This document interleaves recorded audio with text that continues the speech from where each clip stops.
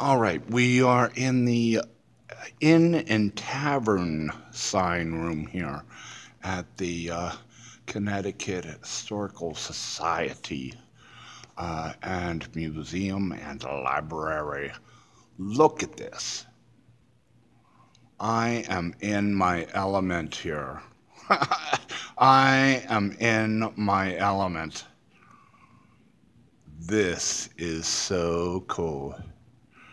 You know, it's funny. I've, as I've gone around the country, I've noticed signs like, for example, the Citgo sign in Boston, where we were just at, and how it kind of is a piece of Americana. And the people in Boston know it too. And, uh, you know, they're fighting to save the sign, and they saved the sign. And, um, you know, so it is so nice to see these pieces of history saved and preserved by the Connecticut Historical Society. They have the largest collection of these inns and tavern signs in the country.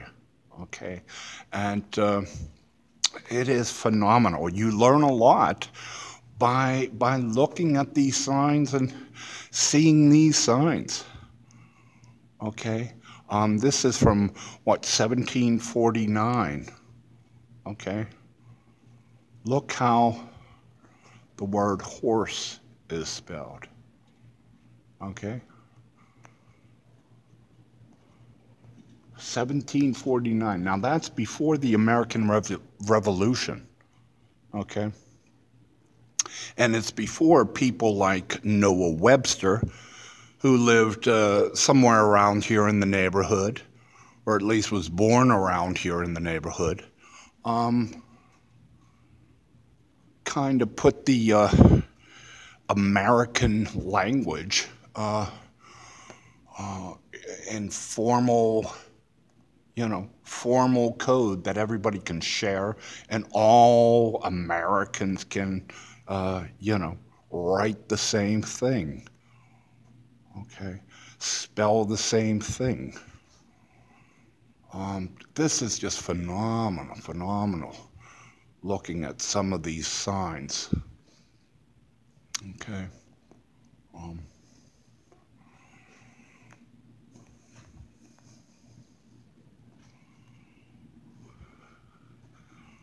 a few here I want to call to mind.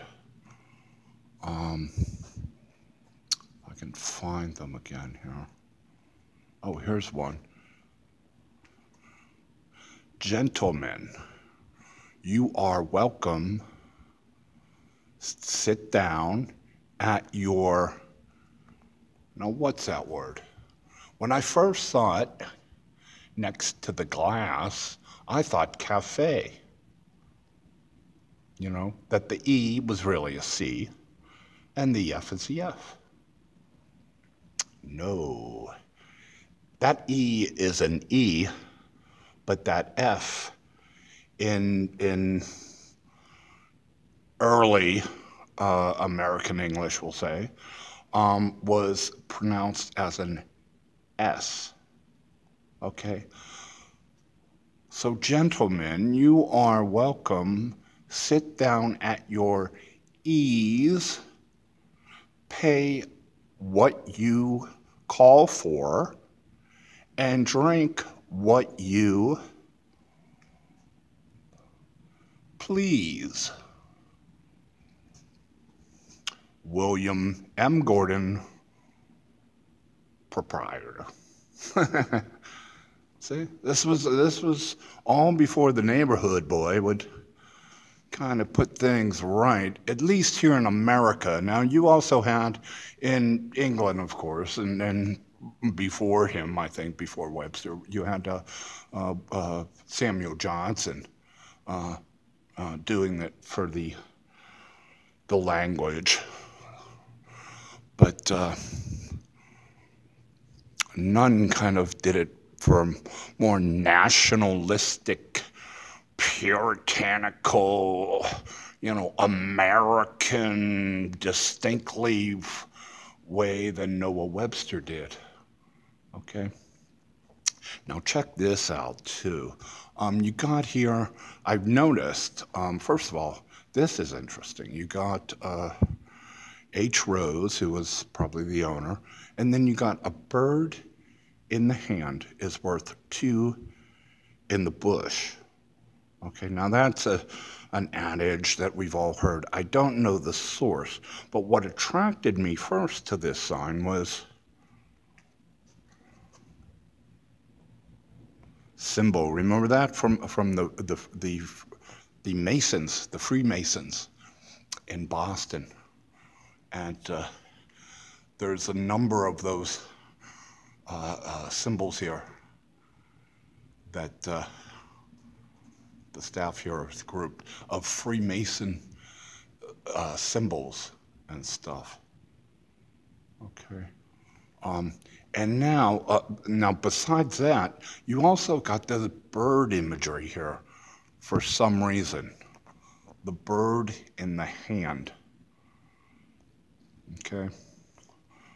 So check with my Google Plus, and, and I'm going to try to figure out what the significant significance of the bird in the hand is to these signs.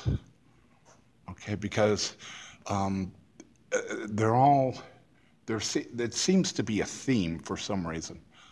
All right. Besides the the the the symbols or the imagery that you know is kind of a custom, I think, in in a lot of these a lot of these uh, signs here.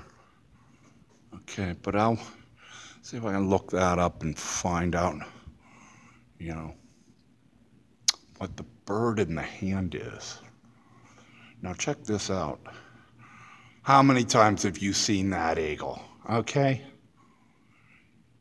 It's for Pentabon's Tavern. Okay? How many times have you seen that eagle? I mean, how many times have you seen it on coins or whatever and such? Check out the year.